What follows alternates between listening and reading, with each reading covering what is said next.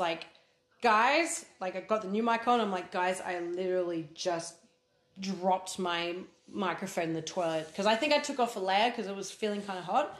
I took it off and then it went whoosh, Pop. and and it would. The, oh my god! I, I probably should have like speak about this and admit to it, but I was like desperate to try to save it.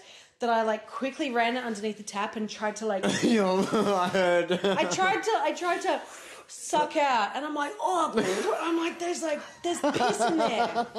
You didn't have a think, yeah. like it wasn't just my piss. It was like other people's piss I think. And I'm just like like trying to and then put it in rice at Oh, home and, and it wasn't saved. Yeah. no